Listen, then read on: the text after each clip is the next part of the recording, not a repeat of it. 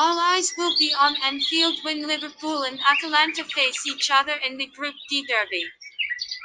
The Reds kicked off their Champions League campaign in style, with the team recording a win in each of their first three group games, and, no doubt, they are eager to keep their 100% record intact. Jurgen Klopp's troops have been impressive in the elite competition this season, but keep in mind that the likes of Alexander Arnold, Virgil van Dijk, Henderson, Salah, and Gomez are all likely to miss the match for the hosts.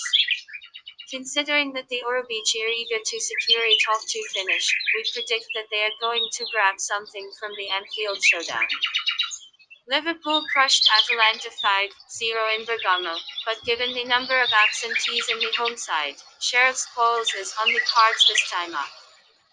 Caldara is sidelined with injury for the visitors, while Malinovskyi is out of contention after being tested positive for coronavirus.